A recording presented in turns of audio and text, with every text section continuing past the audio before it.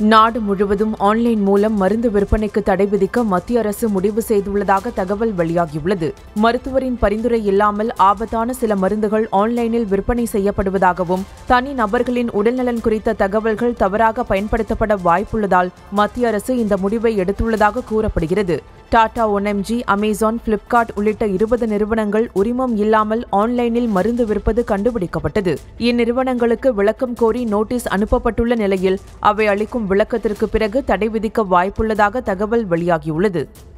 திமுக சட்டமன்ற உறுப்பினர்கள் மற்றும் மாவட்ட செயலாளர்கள் கூட்டம் நடைபெறும் தேதிகள் அறிவிக்கப்பட்டுள்ளன. சென்னை அண்ணா அறிவாலயத்தில் முதலமைச்சர் மு ஸ்டாலின் தலைமையில் வரும் இருபத்தி ஓராம் தேதி மாலை ஐந்து மணிக்கு திமுக சட்டமன்ற உறுப்பினர்கள் கூட்டம் நடைபெறும் என்று அரசு தலைமை கொறடா செழியன் அறிவித்துள்ளார். இதேபோல வரும் இருபத்தி இரண்டாம் தேதி மாவட்ட செயலாளர்கள் கூட்டமும் திமுக தலைவர் மு ஸ்டாலின் தலைமையில் காலை பத்து முப்பது மணிக்கு நடைபெறும் என அக்கட்சியின் பொதுச் செயலாளர் துரைமுருகன் அறிவித்துள்ளார்.